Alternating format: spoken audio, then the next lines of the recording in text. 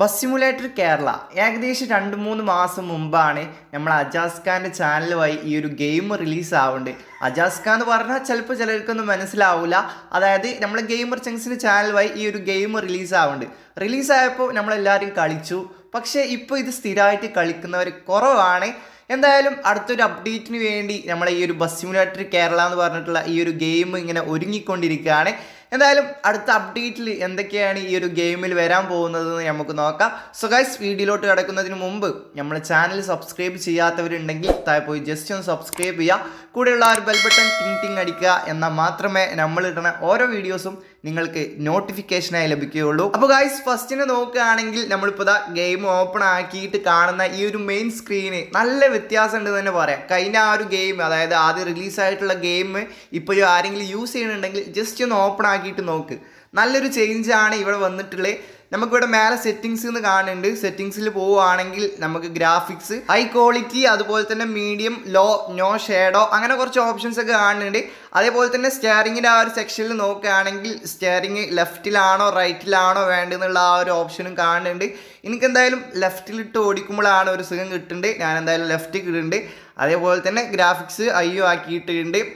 എന്താ ലാഗ് ഉണ്ടെങ്കിൽ ലോ ലാക്കാമല്ലോ നമുക്ക്. വലിയ ലാഗൊന്നും ഫീൽ ചെയ്യണില്ല. ഞാൻ ഇങ്ങനെ കളിച്ച് നോക്കിയതാണ്. പിന്നെ നമുക്ക് ഇവിടെ കാണേണ്ട ഗ്യാരേജ് അതുപോലെ തന്നെ ഡ്രൈവ് ആണ്. ഇനി നമുക്ക് ഗ്യാരേജ് ഒന്ന് സെലക്ട് ചെയ്ത് നോക്കാം. ഗ്യാരേജ് സെലക്ട് ചെയ്യും നമുക്കിത് ഇവിടെ സ്കിന്നി എന്ന് പറഞ്ഞിട്ട് ഒരു ചാർട്ട് പോലെ കാണാൻ പറ്റും.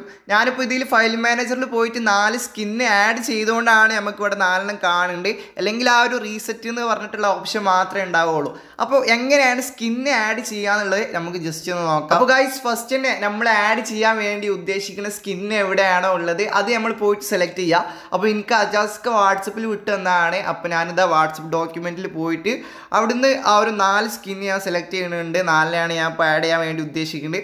അപ്പോൾ നാല് ഞാൻ സെലക്ട് ചെയ്തു. അവിടുന്ന് കോപ്പി ചെയ്തിട്ട് ആൻഡ്രോയിഡിൽ ഡാറ്റയിൽ പോയാൽ നമുക്കിതാ കോം ഡോട്ട് ഗെയിമർ ചങ്സ് ബസ് സിമുലേറ്റർ കേരള എന്നുള്ള ഒരു ഫയൽ കാണാൻ പറ്റും. ആ ഒരു ഫയൽ സെലക്ട് ചെയ്യുക അതിൽ പോയാൽ ഫയൽസ് എന്നുണ്ടാവും അതിൽ പോയാൽ നമുക്ക് ഇതാ മാപ്പ് പ്ലെയർ ട്രാഫിക് അങ്ങനെ കുറച്ച് ഓപ്ഷൻസ് കാണാൻ പറ്റും. അതിൽ ഞാൻ പ്ലെയറിൽ പോയിട്ട് ബി എസ് കെ വണ്ണ് അതിൽ സ്കിൻസിൽ പോയാൽ നമുക്ക് ഇവിടെ ഒരു ഫോൾഡർ കാണാൻ പറ്റും. അതിൽ കൊണ്ടുപോയിട്ട് നമ്മൾ പേസ്റ്റ് ചെയ്യാം. അപ്പോൾ ആ ഒരു നാല് സ്കിന്നും നമുക്കിത് ഇവിടെ കാണാൻ പറ്റും. നമുക്ക് എത്ര സ്കിന്ന് വേണമെങ്കിലും നമുക്ക് ആഡ് ചെയ്യാൻ പറ്റും. അതായത് നമ്മൾ ഇ ടി എസ് ടുവിൽ എങ്ങനെയാണ് സ്കിന്ന് ആഡ് ചെയ്യൽ ആ ഒരു സെറ്റപ്പ് ആയിട്ടാണ് എനിക്ക് ഏകദേശമൊക്കെ തോന്നിയിട്ടുള്ളത്.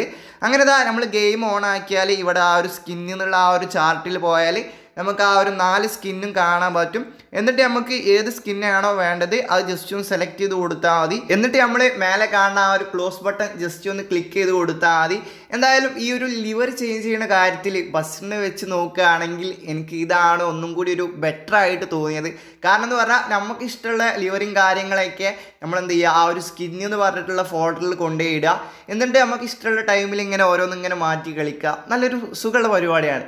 അതായത് ബസ്സിനെ വെച്ച് നോക്കുകയാണെങ്കിൽ ഇത് നല്ലൊരു സുഖമുള്ള പരിപാടിയാണ്. ഇ ടി എസ് ടുവിലൊക്കെ ഇങ്ങനെയാണെന്നാണ് എനിക്ക് തോന്നുന്നത് ഇ ടി എസിനെ പറ്റി വലിയ ടച്ച് ഒന്നുമില്ല. എന്നാലും ചെറുതായിട്ട് അവിടെ ഇവിടെയൊക്കെ ചെറുതായിട്ടൊക്കെ അറിയാം. അപ്പോൾ എന്തായാലും നമുക്കിതാ ഏതെങ്കിലുമൊക്കെ ഒരു ലിവർ ഇട്ടിട്ട് നമുക്ക് ജസ്റ്റ് ഒന്ന് ഡ്രൈവ് ചെയ്ത് നോക്കാം. അതിന്റെ കൂടെ ട്രാഫിക്കിനെ കുറിച്ചുള്ള കുറച്ച് കാര്യങ്ങൾ പറയാണ്ട് അതേപോലെ തന്നെ ഇതിൽ ട്രാഫിക്കിൽ ഹൈലൈറ്റ് ആയിട്ട് വേറൊരു കാര്യം പറയാണ്ട് അപ്പോൾ എല്ലാവരും വീഡിയോ സ്കിപ്പ് ചെയ്യാതെ തന്നെ കാണുക. അതുപോലെ തന്നെ ഈ ഒരു വീഡിയോക്ക് ലൈക്ക് അടിച്ചിട്ടില്ലെങ്കിൽ താഴെ പോയി ലൈക്ക് അടിച്ച് പൊട്ടിക്കുക.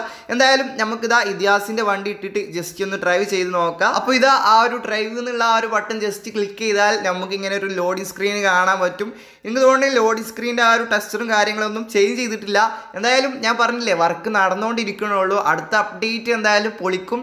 അതായത് കൂടുതലൊന്നും പ്രതീക്ഷിക്കേണ്ട എന്ന കുറച്ചൊക്കെ പ്രതീക്ഷിച്ചതാണ് എനിക്ക് പറയാനുള്ളത്.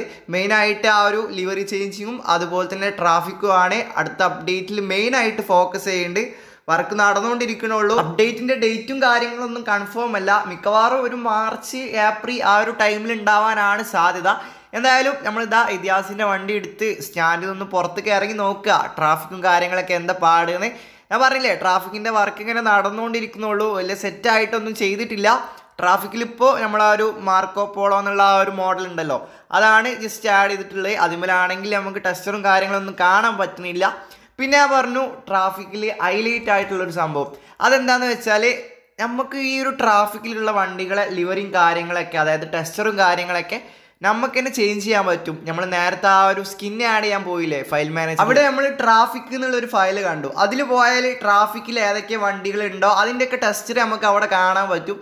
അപ്പോൾ നമുക്ക് ഇഷ്ടമുള്ള വണ്ടിന്റെ ടെസ്റ്റർ നമുക്ക് ഇതിൽ ചേഞ്ച് ചെയ്യാൻ പറ്റും. അതാണ് ഇതിനെ സംബന്ധിച്ച് എനിക്കൊരു ഹൈലൈറ്റ് ആയിട്ട് തോന്നിയത്. എന്തായാലും അടുത്ത അപ്ഡേറ്റ് പൊളിക്കും. ഡേറ്റും കാര്യങ്ങളൊന്നും കൺഫേം അല്ല. കൂടുതൽ വിവരങ്ങൾ അറിയാൻ വേണ്ടി നമ്മൾ അജാസ് ഖാന്റെ ചാനൽ കയറി എല്ലാവരും സബ്സ്ക്രൈബ് ചെയ്ത് വെക്കുക. ചാനലിന്റെ ലിങ്ക് ഞാൻ ഡിസ്ക്രിപ്ഷനിൽ കൊടുക്കുന്നുണ്ട്. അപ്പോൾ ഗൈസ് ഇത്രയും നേരം വീഡിയോ കണ്ടിരുന്നതിന് ഒരുപാട് നന്ദിയുണ്ട് അപ്പോൾ ഓക്കെ നമുക്ക് അടുത്തൊരു കിടുക്കാച്ച് വീഡിയോ ആയിട്ട് കാണാം Maybach music. Can anybody out there hear me? Hear me?